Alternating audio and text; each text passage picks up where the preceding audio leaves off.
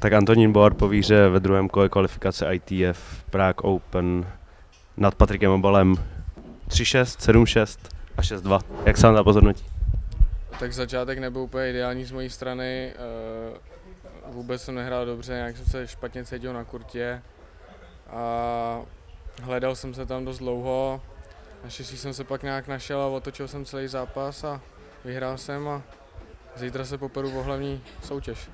Stav 3-6, 1-5, to vypadalo na brzký konec. Tak kde se to, kde se to ve vás dalo? No tak já už jsem to balil a už jsem myslel, že půjdu domů. Soupeř vlastně servíroval a mě se tam povedli nějak čtyři returny rovnou zabít.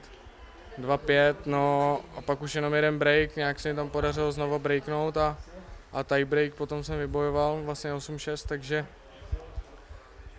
nevím, to se občas prostě stane, soupeř eh, tam udělá pár chyb, vám to sedne a je to. no. Takže byl ten váš výkon natolik zlepšený, že to vedlo k tomu, k tomu obratu.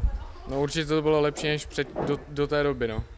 Ale zeptám se na ten tiebreak, protože tam jsem měl, myslím, že setball, soupeř podával, měl druhý servis a pak tam předběh vlastně pán s Rablem.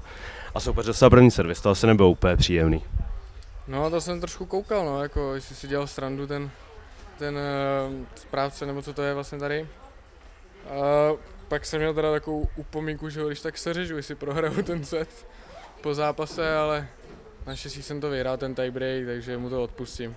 Vlastně se Slovákem obalem jste hráli v Umagu v Chorvatsku, kde jste prohrál ve dvou setech. Bral jste si něco z toho zápasu, že by šlo něco zlepšit, nebo věděl jste, jak na, na toho Slováka už hrát? Tak určitě šel jsem do toho, že budu méně chybovat, že budu trpělivější, ale to se mi fakt ty dva první sety vůbec nedařilo do toho 1-5, ale pak naštěstí jako jsem zapnul a už jsem nedělal žádné chyby a otočil jsem to. Teď už jste ve finále kvalifikace, tak věříte, že by už ta účast v hlavní soutěži mohla klapnout tady v Praze?